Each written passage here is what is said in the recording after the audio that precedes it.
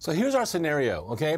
At Brio, we have this client, a new client, and they're pretty much a homogenous Windows environment. And let's say it's a healthcare facility which commonly uses Windows, okay? It's very common for hospitals and medical centers to, to use Windows. So that's, that's our client, and they're using Windows uh, workstations. Let's say they're using Windows 10 and they're using Windows servers, okay? So that's our scenario.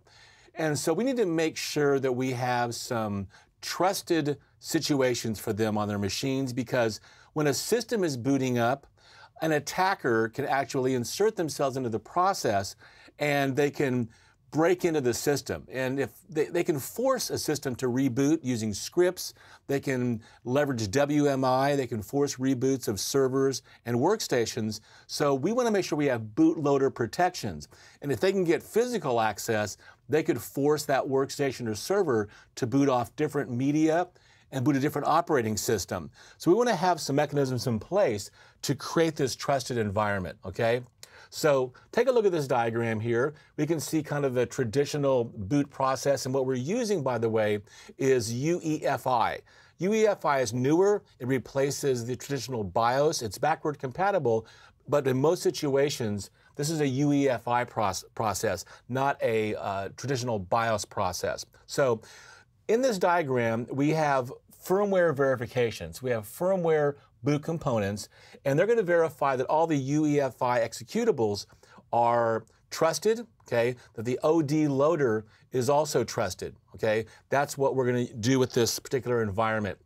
In step two, which we see right here, it involves this process, boot manager, WinLoad, Windows kernel startup, and additional OS init files or init processes here.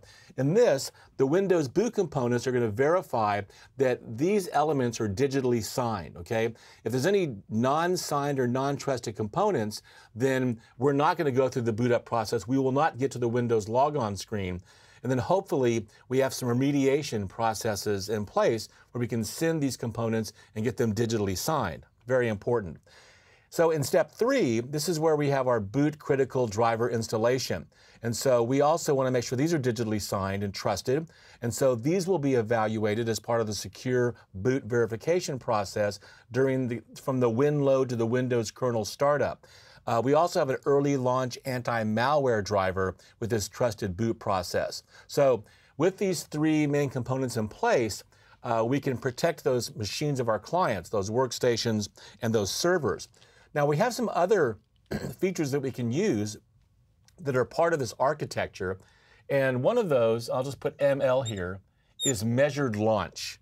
Measured launch. Basically part of uh, Intel's TXT or trusted uh, execution environment. Okay, so I don't, I don't know why it's not TET, but it's trusted execution, X for execution, environment or technology, so TXT. So this is going to define platform level improvements uh, to offer building blocks for developing trusted platforms.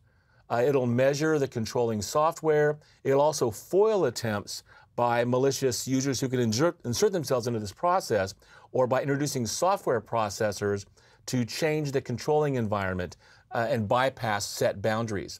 There's also what's part of this is SMX. SMX is basically the safer mode extension. And these are the extensions that actually launch the measured launch, the ML, and protect it from potential corruption. Okay, so we have bootloader protections, we have Intel's measured launch, we also have what's called IMA, which is integrity measurement architecture. And so this is going to work similar to mandatory access control architecture uh, that you may have maybe familiar with some of the uh, architectures like Bell-LaPadula and Biba, those types of mechanisms. It works like a MAC. Uh, for example, in an LSM module for something like, let's say, S, uh, SE Linux be a, be a, the best solution I can think of to compare it to. So IMA is going to it's to collect. To do several things. Okay, it's basically it's to collect and measure information about the process. It's going to store information about your uh, architecture processes. Okay, it's going to make sure that any TPM information is going to be stored uh, on an ongoing basis. It will do attestation. Okay, so it's going to attest to the fact that the TPM is signed and that the process is working according to plan. Okay, uh, it also allows remote validation of systems as well. We can also do appraising, appraisal with the IMA, okay, uh, enforcing local validation and measuring against a baseline, okay. And then finally, obviously, uh, it protects, okay. IMA is going to protect uh, file security, uh, any extensions, the attributes of extensions that are part of the TPM process, protecting it from attack. So the three main components are the uh, bootloader protections that we talked about here. We have measured launch, which is basically TXT from IBM made possible by SMX. And then finally, the third component, IMA, Integrity Measurement Architecture.